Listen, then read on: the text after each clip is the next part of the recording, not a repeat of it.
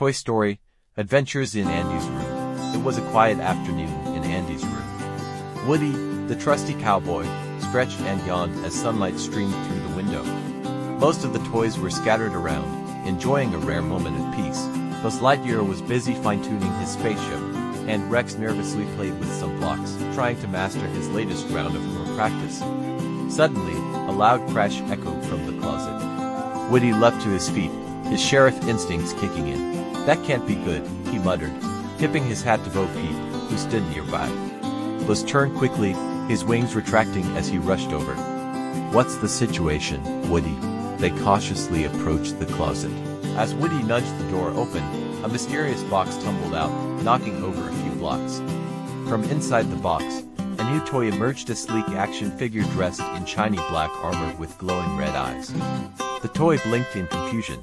Who are you?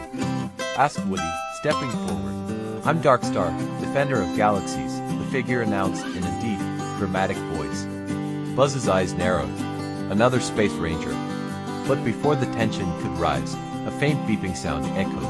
Darkstar's ship was malfunctioning. The closet door jammed shut, and the toys realized the room's power had gone out too. With no time to spare, Woody and Buzz sprang into action. Working together, they fixed the wiring in Darkstar's ship while the other toys tried to pry the door open.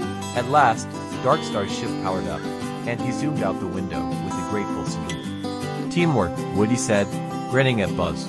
That's what being a toy is all about. Buzz nodded, smiling. To infinity and beyond. Together,